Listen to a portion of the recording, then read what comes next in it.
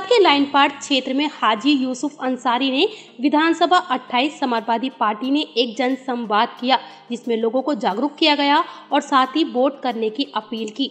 अधिक जानकारी के लिए पूरी खबर देखें अभी तक न्यूज़ इंडिया के डिजिटल पर।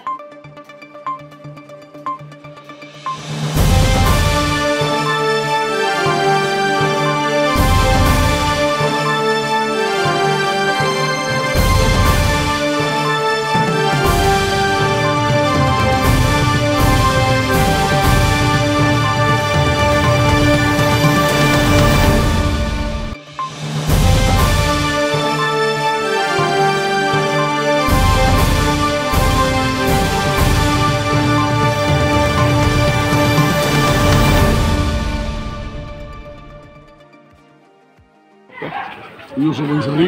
आज इस रैली के माध्यम से आप क्या कहना चाहेंगे? मैं लैंड पार में जनसंपर्क के लिए आया हूँ। और लोगों से वोट की अपील की है।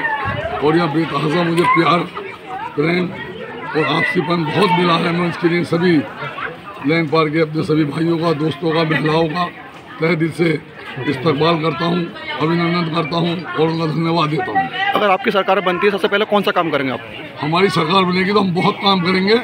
एक काम करने का नहीं है, बहुत काम करने बाकी है, जो जैसे कि हमने 2012 से सत्रह तक करे थे और अनेक काम किए हैं, और मुरादाबाद के अंदर, चाहे फ्लाई ओवर हो चाहे बिजली के अंदर जो सब स्टेशन है, उनका क्षमता बढ़ाने का काम किया हो, हॉस्पिटल में ट्रामा सेंटर बनाया, लेकिन सरकार ने उसको चालू नहीं किया। ऐसे सुंदरीकरण कांट रोड पर जब जाओगे वो भी सुंदरीकरण समाजवादी का देन है। दिल्ली रोड पे भी उसी की देन है। और गाँव रोड भी उसी की देन है। ऐसे बहुत से काम है जब फुर्सत होगी तो आपको बताऊँगा। जैसे कि एक चीज़ सुनने में आ रही है यूनिट क्या है? तीन सौ यूनिट। तीन सौ यूनिट बिजली हर परिवार को फ्री मिलेगी।